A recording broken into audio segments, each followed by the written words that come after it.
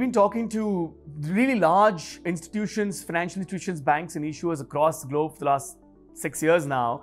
And we come across the exact same pain points. Pretty much every bank across the globe has been using legacy platforms that were written more than 30, 40 years ago. Nobody loves their software. Almost everybody universally actually hates their existing technology stack. Banking is probably one of the last few industries, you know, um, that still uses software that was written before I was born. More than 50% of um, banking stacks today still run on mainframes and COBOL. In some some countries, some places it's even 70 to 80 percent or more. They all sort of talk about the same pain points. They're that they're extremely slow. They can't be fast, agile, and nimble when it comes to launching products.